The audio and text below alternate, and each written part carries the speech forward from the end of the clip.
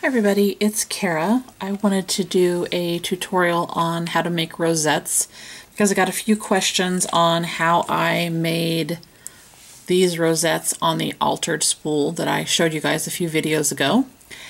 And I also have the die, so I thought I would show you how I use this die to create some rosettes as well.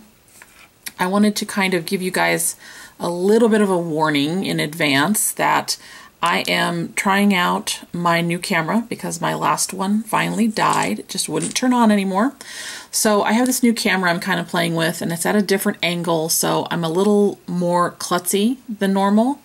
Um, not that I'm so graceful most of the time, but I apologize in advance if this video is a little bit more awkward or if my future ones are a little bit more awkward than usual because I'm trying to get used to this new camera. So anyway, I have this Alterations die by Tim Holtz. This is the mini paper rosettes and I love it. It's a lot of fun to play with. I showed this in a haul video several videos ago.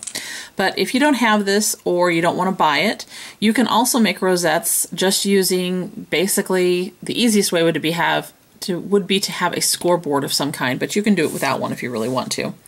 Um, first, let me show you what you get when you use this die. You get two rosettes from this die. Um, they're created from these strips of paper and then you get the two centerpieces as well. And when you put it through your die cutting machine, you end up with a strip of paper that looks like this. One edge is kind of scalloped looking and then one edge is flat. And then hopefully you can see the little perforations in the paper. That makes it easier to fold up and you would just fold the thing, you know, basically kind of accordion style like this one okay, until you get it all folded. Then you would take the ends and glue them together like so. I use um, Scotch Quick Dry when I do that. And you'd end up with something like this, okay? And then basically what I do is I take my one inch circle punch and I punch a circle and I put that on the bottom because I like to have a base for mine because of the way I apply my glue. And then you're basically going to push this forward like so over that circle, push it together into kind of a tight little circle in the center. You see that right there? And then I usually take glossy accents or Scotch Quick Dry. I prefer glossy accents for this part. I put a big old blop of it in the center there and a little bit around the edge. And then while I hold this together with one hand, I take the centerpiece created by the die and usually I'm doing this the other way around, so here comes the klutzy part. And I put it in the center on top of that glossy accents in that little hole, and then I just kind of hold it in place. Obviously I want it to stay for about 30 to 45 seconds, and usually that's all it takes for the glossy accents. And you end up with a little rosette that resembles something like this, okay? Now this particular one, I wanted the flat end, so I actually pushed, if you can see that little scalloped end, I pushed that in the center. So I wanted that rounder end to it, okay? And that's just personal choice. Now, if you don't have the die, don't want to get the die, you can still make rosettes pretty easily. And the great thing about making these rosettes is you don't need a ton of paper to do it. I used a lot of scraps that I had from 12 by 12 paper that I cut down. This is one of them. And basically, you just have to decide how big of a diameter you want your rosette to have. So in using the die, this top strip of paper will give you a rosette that's about an inch and a half. This one will give you a rosette that's about two inches. If you either want to make them yourself or make them different sizes than that, basically what you need to do is think about how thick you want that, how big you want the diameter of that rosette, and basically the width of the paper strip that you use times two will be the diameter of your rosette. So for example, this rosette is about three inches so the strip of paper that I used was about an inch and a half. Okay? Because what you have to think about is when you press it down to make the rosette, it's basically like two strips of paper side by side. Okay? Hopefully that's clear. So once you've decided on the diameter and the width of your strip of paper, when I make them myself, I use, depending on the paper scrap, a piece that is 10 to 12 inches in length. Okay? Then I decide if I'm going to do a decorative edge, like I did here with um, just a border punch. This is an EK Success one. I don't remember the name right now, but it's EK Success. And then I take my Martha Stewart scoreboard and I score every quarter of an inch, and hopefully you can kind of see that.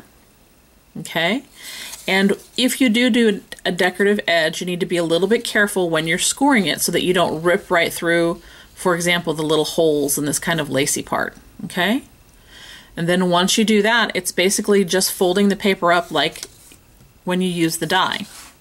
Oh, and my, sorry about this spool casting a shadow. Anyway, so you'd fold it up.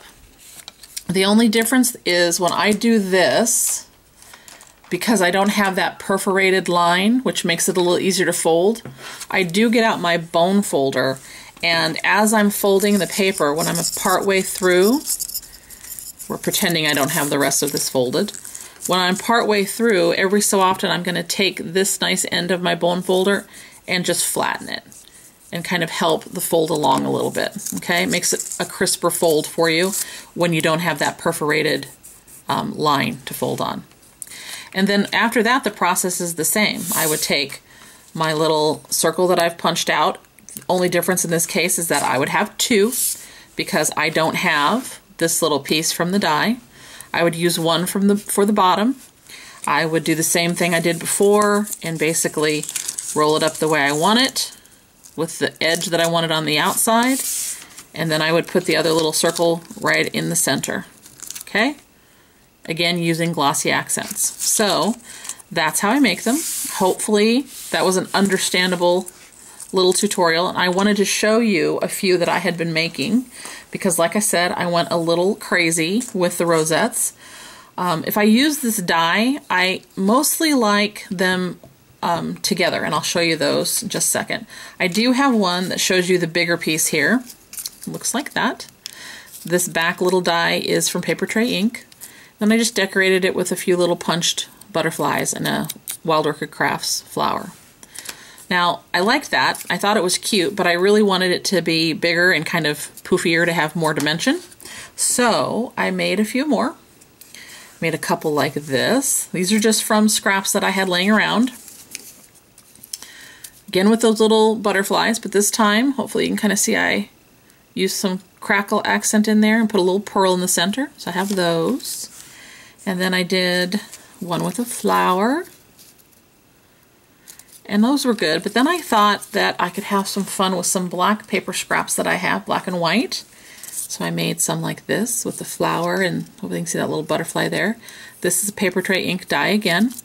And hopefully you can see I inked up the edges this time, which I think really makes it kind of pop. And I did some more black ones. This time I put a little tag in there. Papertrey Ink die as well. Inked up the edges again. Okay. Here's another little one. This time, I don't know if you can see it or not, but I put a little circle behind it as well to give it a little more of a, like a, kind of a black edge to it. That is a also a Papertrey Ink die, as is this little tag. And I think the sentiments are Papertrey Ink too, if I remember right. Here's another cute one. All of these black and white ones have a little bit of shimmer on them too from, I think it's Lindy's spray that I used. And here's another last black one. And then I stumbled across some scraps I had from some um, pink paper. So you know I had to make some pink ones. Here's one. And on this one, hopefully you can see the rosettes have embossing powder on them. I just basically took the rosette and literally just put it right on the Versamark pad. That's way off center. Anyhow, and then sprinkled on the embossing powder and embossed the rosettes. Put some stickles on there. And here's another one little bit different. Inked the edges, hopefully you can see that. And then I wanted to do a couple that didn't have any of these backs on it to see if I liked them. So I made one like this, which I think is pretty. It's kind of got a very vintage feel to it. And then one last one. I took a couple rosebud type flowers, inked the edges, put a little bit of seam binding. So here's a whole bunch of rosette examples, my pile of rosettes. I had lots of fun making them. Super simple. They're great for any kind of project. Um, cards, scrapbook layouts, mini albums, altered projects, and they're super simple to make with or without the die. Um, hopefully you guys have enjoyed the tutorial. If you have any questions, let me know. And as always, thanks so much for watching. Bye!